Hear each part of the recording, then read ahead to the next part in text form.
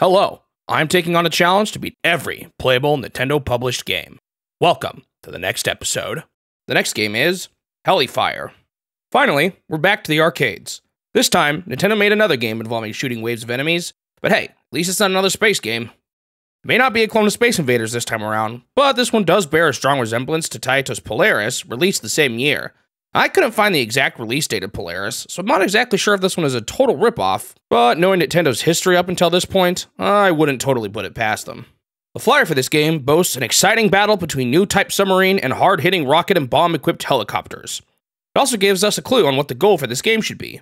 When required number of helicopters destroyed, submarine surfaces. Native girl dancing on island board submarine. Extra points. Oh boy, what on earth will that look like? I guess there's only one way to find out. The main idea behind this one was to create something similar to Space Invaders, but to advance the movement possibilities beyond just left and right. To accomplish this, they place the player in a submarine. Half of the screen is water, and the other half is sky. The submarine you control can move in all eight directions. However, you must stay in the water. The primary objective is to destroy helicopters that fly in the skies above the water. In addition to the missiles fired by the helicopters, there are tons of hazards in the water you have to dodge too. Dodging these hazards is a key mechanic in this game, and if you just focus on destroying the choppers, you won't make it far. In particular, there's one type of attack where the helicopters drop something into the water that fires a ton of horizontal shots, and the window you have to dodge this attack is really tight. I died a lot to this move. Speaking of, I can't tell if the death animation is supposed to be just an explosion or something more gory. An explosion makes more sense, since they're controlling a machine, but it just doesn't totally look like one. There are four waves of helicopters you have to destroy to complete each level, and they get faster with each wave. In the first three waves, the helicopters just fly by slowly across the screen. These ones are relatively easy to destroy, since their consistent pattern makes them easy to hit. The last wave of helicopters is much more difficult. They move quickly and have more sporadic movement patterns. To balance this, there are much less helicopters during this wave. On my first attempt, I made it through level 1, and the next level immediately started. Guess you have to beat more than one level to see the island girl. Unfortunately, I died before beating level 2, and I was so close with only a few more enemies left in the last wave. For my second attempt, I cranked up the lives from 3 to 6. This didn't end up doing me any good though, and I got destroyed by the last helicopter in level 1. Didn't even make it as far this time.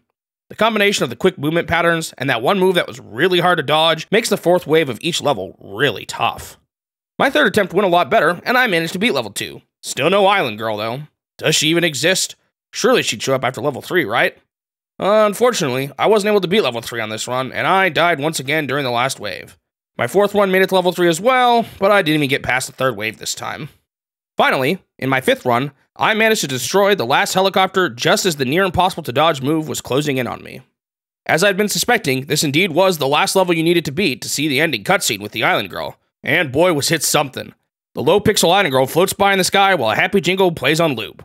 The submarine docks on the island, and she hops in. Due to the amount of points she gives you, I got an extra life, and we joked that this meant she was drafted into the battle.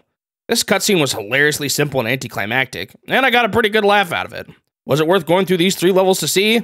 I think so, but probably not for the reason the designers intended. Oh, and for some reason, the song kept playing for a while into level 4. Guess they didn't bother to actually end the song at the right time.